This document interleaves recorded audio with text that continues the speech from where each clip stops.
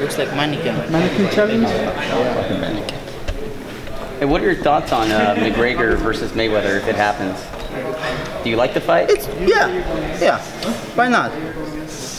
If people want this fight, if people can pay for this fight, why not? It's very interesting. But you know, all people who understand boxing, who understand the UFC, understand and know about future mm-hmm. results. If you were offered to fight McGregor or Mayweather, who would you take?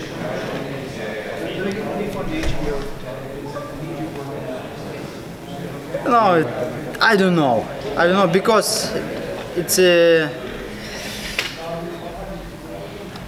It's not my division. It's not my division weight Right. class. I can't talking about this.